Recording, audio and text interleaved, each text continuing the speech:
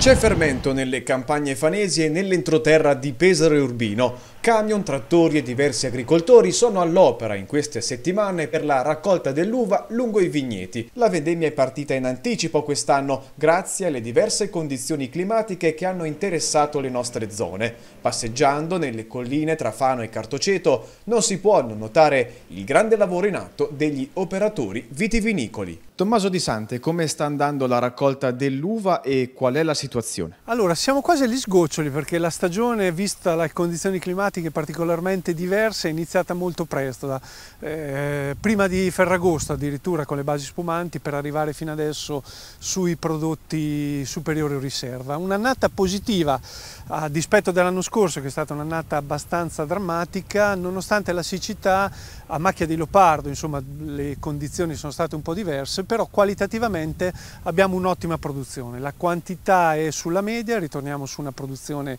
standard. E invece come sono le uve? Oh, le uve sono sane, eh, è chiaro che sulle zone dove la pioggia è stata poca c'è stato un calo di produzione, però qualitativamente abbiamo già in fase di fermentazione in cantina degli ottimi profumi, quindi dalle uve belle sicuramente otterremo un'annata decisamente positiva per i vini 2024. Il mondo dell'agricoltura si sa è in continua evoluzione, come per tutte le lavorazioni anche la raccolta dell'uva ha visto l'introduzione da diversi anni di macchine all'avanguardia, nonostante c'è chi ancora oggi preferisce raccogliere a mano. Ovviamente la raccolta manuale ti dà eh, meno liquido eh, e quindi una qualità decisamente ma maggiore perché arriva al grappolo sanissimo. Raccolta macchina riduce i costi e i tempi di raccolta, quindi qualitativamente riducendo i tempi di raccolta la mattina molto presto, in 3-4 ore si riescono a portare in cantina mosti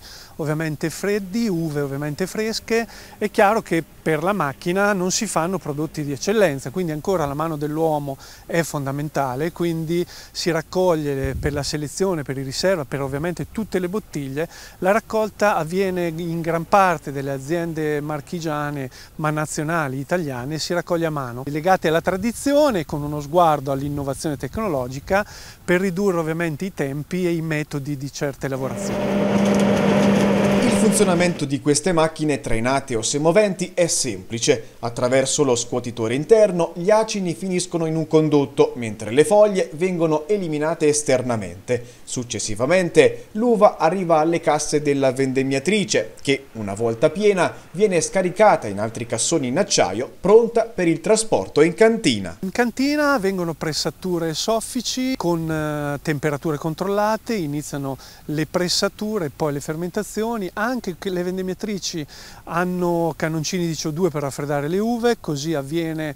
con gas inerti anche in cantina, con azoto per evitare eh, il contatto con l'ossigeno da parte dei mosti, dei liquidi che perderebbero eh, l'aromaticità del vino finale. Quindi si lavora con molta tecnologia eh, al dispetto di quello che facevano i nonni solo eh, grazie alla tradizione e all'esperienza.